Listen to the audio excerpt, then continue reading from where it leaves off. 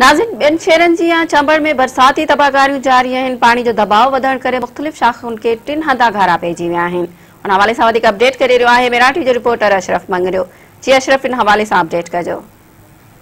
बिल्कुल सायरा मा ताके बुधाई दो ला चंबर ताल के बरसात जे का पूरी सिंध जिया जे चंबर ताल के में तबाही मचा छड़ी है जे बिन शाखन के जे के मुख्तलिफ जाइन ता जो को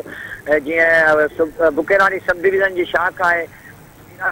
उन खे बि जेको ॿिनि जॻहियुनि तां जेको घारा पिया आहिनि हिकिड़ो टीह फुट हिकिड़ो वीह फुट हुन खां अलावा तव्हांखे ॿुधाईंदो नसीरवा मां निकिरंदव बुलगार शाख आहे जेका मिक्स लॻ लॻे थी ॻोठु मोसन लॻो वटां ॿिनि जॻहियुनि तां हिकिड़ो पंद्रहं फुट ऐं ॿियो वीह फुट जेको आहे उहो घारो पियो आहे ऐं शाख जेका बुलगार शाख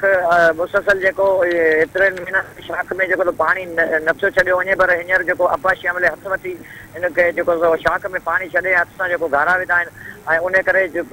फसल आहे जंहिंमें बुण आहिनि मकई आहे टमाटा आहिनि ऐं बसर जो फसल आहे उन समय जेको फसल जेको आहे उहो बिल्कुलु सड़ी वियो आहे ऐं नसीकान